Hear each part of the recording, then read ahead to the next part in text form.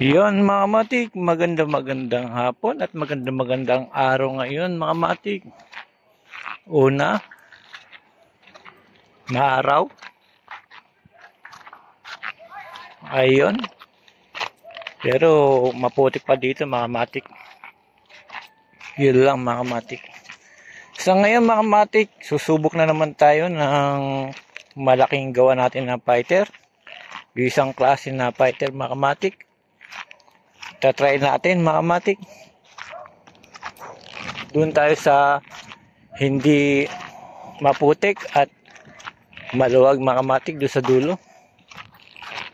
Maganda hangin ngayon. Maganda magpalapad ngayon mga matik. Kahit hindi uso pwede magpalipad mga matik. Basta trip mo walang makakapigil sa iyo mga kamatik. Ngayon mga kamatik, dito tayo dadaan. Medyo maputik yung daan.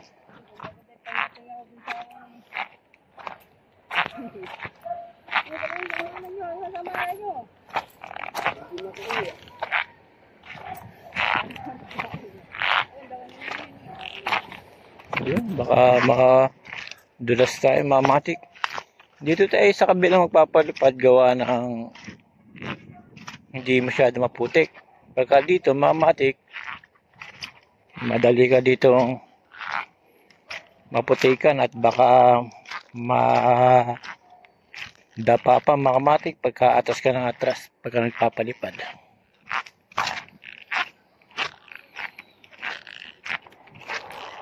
Yun, ang ganda ng panahon sana galto na lagi mga kamati.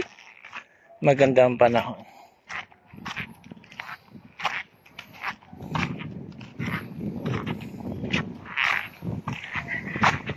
Yun, bagay na bagay talaga sa panahon ngayon mga kamati na magpapalipad.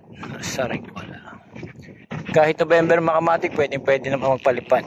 Nasa iyan Ito mga matik, sinako ko kasi gawa ng baka nakita ng mga bata pagkagulo na naman. Tapos hahawakan hanggang sa masira mga matik. Yung mga matik ilalapag natin, lalabas natin. Itong tetestingin natin sa ringgola.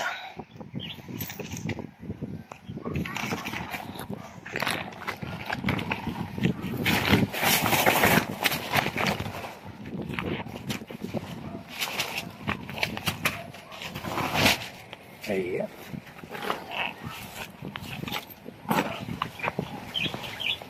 Ayan mga matik, ito palilipatin natin ngayon. Ayan mga matik, ito palilipatin natin. Na bago kong gawa mga matik. So ngayon tatali muna natin. Pagka napalipat ko na, mga kamatik, video ang kagad.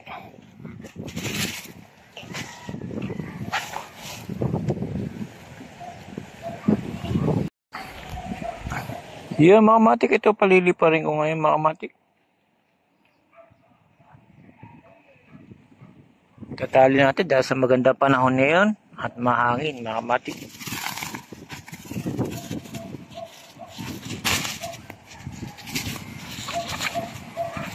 Yeah.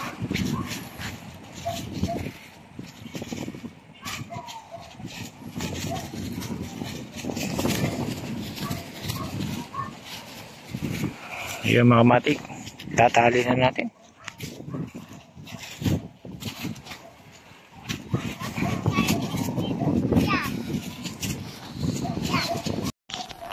Yun mga matik, palilipa rin na natin. Ayan. Yung mga matik, hindi na hinahagis yan. Ayan.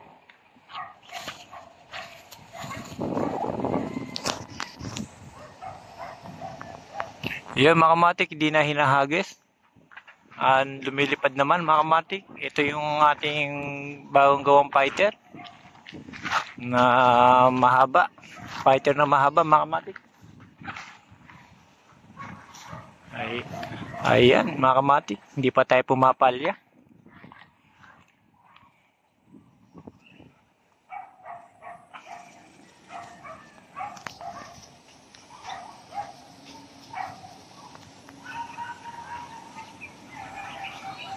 Yun mga matik, ah, lalarga natin.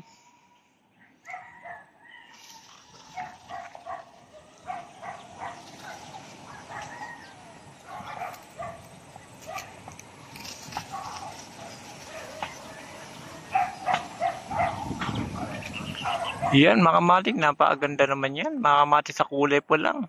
Panalo na.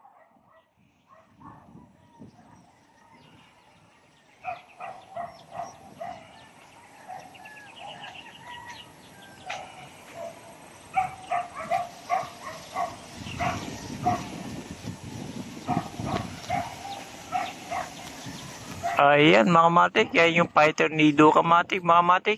Fighter na matulis. Ayan. Bakit ka mo? Kasi yung puwita niya matulis mga matik. Conforme doon sa isang klaseng fighter na hindi masyadong matulis mga matik. Ito yung bagong disenyo ni Duka Matik, mga matik.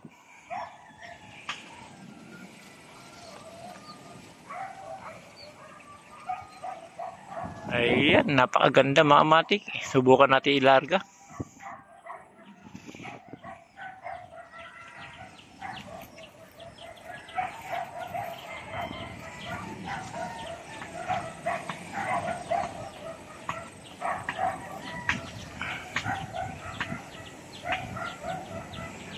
Yun, mga matik, napakaganda sa ere.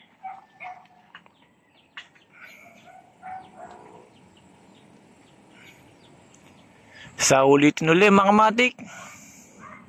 Susunod naman, mga matik, ibang kulay naman ang tetestingin natin. Pares na ganito din.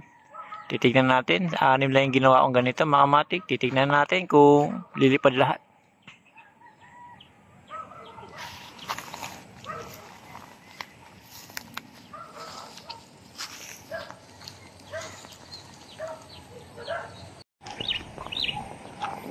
Yun mga matik, dahil lumilipad na yung ating saringgola mga matik. Hanggang dito na na si Duka Matik sa susunod ulit mga matik. Magpapalipad pa tayo ng iba pang kulay na ito.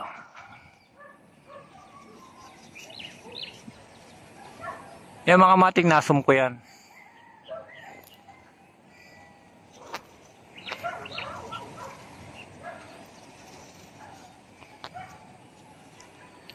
Mga matik, hanggang dito na lang. Salamat.